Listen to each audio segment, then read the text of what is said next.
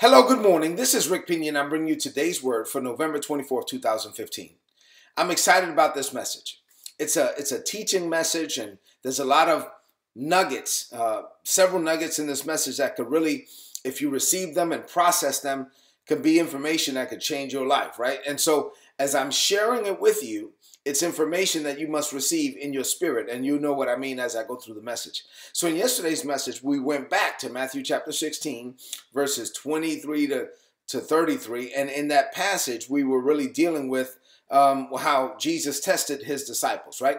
So uh, Jesus told his disciples, Well, whom do men say that I, the Son of Man, am? And they answered him, Well, some say, you know, John the Baptist, Elijah, Jeremiah, one of the prophets. He said, Well, who do you say that I am? He was like, You know, that's how they think. The world thinks. These people that don't know me, they think that way. But how do you think? And really, he was trying to test their mind. He wanted to know how they were thinking. And that's very important because as believers, we'll learn today that your mind is the control center of your life. So remember, you the three parts of you, right? Just like there's three parts of God. God is Father, Son, Spirit. He's a tripartite being. You are a tripartite being. You are spirit, soul, and body. So you are a spirit. You possess a soul, and your spirit and your soul live in this body for now. This is how you relate to this world. We dealt with that yesterday. So today we're going to continue to flow in that same vein. And so if I'm a spirit, soul, and body, then the, the soul is in the middle and in your soul you have your mind your emotions and your will and i'm gonna really be just kind of deal with your mind the way that you think and how your mind the way that you think becomes the control center for your life so what does this mean to you today we have nine things to share with you today and so let's get into it number one so spirit soul body right there's three parts of you and and uh, here is is your mind your mind's in the middle so here we go God is a spirit. Now we've dealt with that already, right? And so God is a spirit and he communicates with you spirit to spirit. So he's a spirit. He communicates with you through the Holy Spirit. So his spirit, the Bible says, bears witness with our spirit that we're children of God. So when we're born again, his spirit comes in and connects with our spirit. So he communicates with us spirit to spirit. That's how God communicates with us. Now, on this side, we have a body. And so the body communicates with this world. Number two, the world is sensual, not spiritual. And the world communicates with us through our body and its senses. So God is spiritual, communicates with us spirit to spirit. The world is sensual, communicates with us through our senses. So we have spirit, we have senses. Number three, now your mind sits in the center. And your the your mind is now the control center of your life.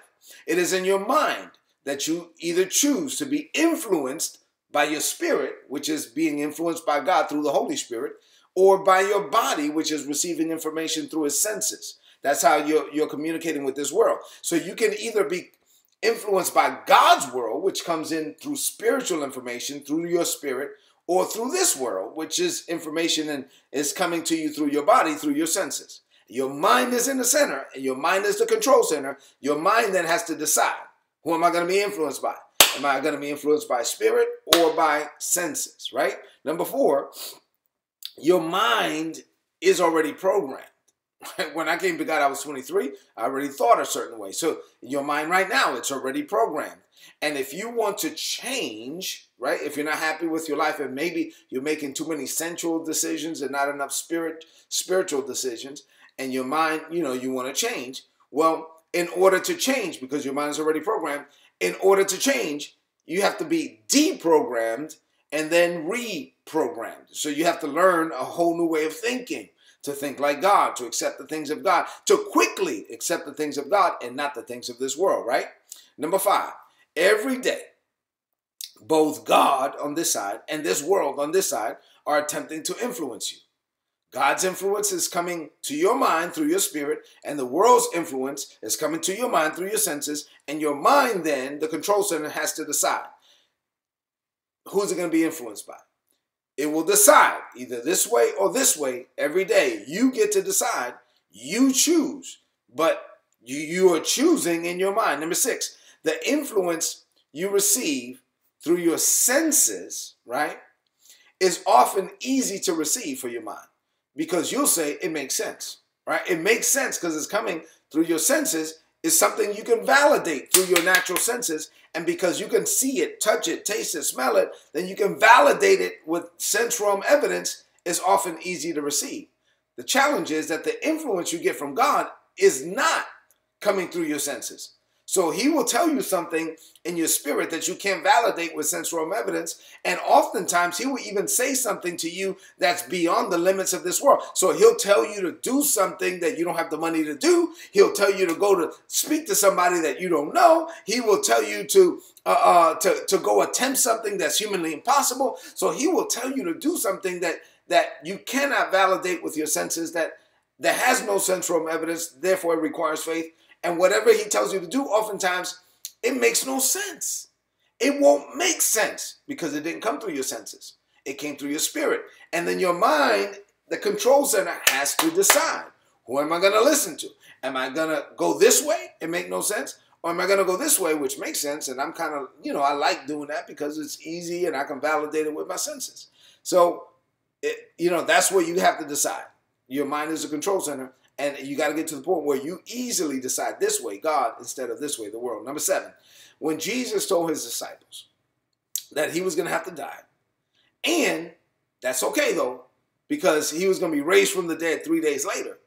Man, that that don't make no sense. That did not make any sense at all, right? You cannot validate resurrection with sensual evidence. You can't validate that with your senses. So that made no sense. And so it was not logical. It was illogical. It was impossible. It was unreasonable. Therefore, they rejected it. Peter spoke out against it. He got rebuked for it.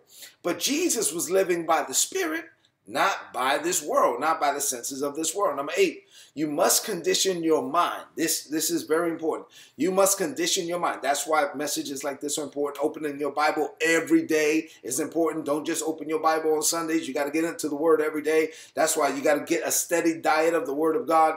You must condition your mind to routinely accept the things of God even when they don't make sense. Number nine, and finally, you know your mind is renewed, right? Because the goal is to get your mind renewed. Romans 12, 1 and 2. You know your mind is renewed when the impossible, the supernatural, the unreasonable, the illogical, when all of that seems logical to you, right? Things that don't make sense in this world, when, when those things seem logical to you, then you know your mind is renewed. Like, for example, I've, I've used this before. When somebody says, oh man, Rick, such and such, we was in the service and uh, there was a a person that was in a walker and they couldn't walk and they, they was in the walker for 10 years and then they got up and they started walking. Now, that, that doesn't make sense, right? But to me, that's logical. Why? Because my mind is already renewed to accept it. Oh, there was a person in the service and um, in the presence of God and they had an accident 20 years ago and they can't hear out their left ear and all of a sudden, pop, they heard a pop in their left ear and now they can hear. And they went to the doctor and the doctor checked it out and they have a brand new eardrum, right? Well, that doesn't make sense in this world, but that makes sense to me. That, that I mean, seems logical to me. Why? Because my mind is renewed to accept the things of God. Because I'm conditioned to believe God. I'm conditioned to think like God thinks. And that's the way you want to be. Because when you get there and your mind is control center of your life, so now, when you get there and you start thinking like God, when you get there, you will quickly accept the things of God, think like God, speak like God, live like God. You will become an extension of God in this world, and He will be able to use you for His glory. So let's close this out with a declaration of faith. Repeat after me in faith from a believing heart. Say, Father, I thank you for teaching me about your grace and also my requirement to live by faith. I am a spirit, I possess a soul. And my spirit and my soul live in my body for now. My body relates to this world through my senses. My spirit relates to your world, Father, through my through the Holy Spirit. And my mind gets to decide which influence I will accept. My mind is the control center of my life. By faith, I declare that I am influenced by your spirit. I refuse to live my life as a mere human. You did not call me to live my life based on senses alone.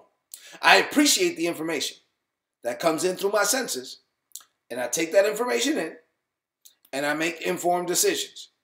However, I live by faith. This means I live by revelation. the revelation I receive through my spirit. I accept what you say, even when it makes no sense at all, and I believe it by faith. Your kingdom has come.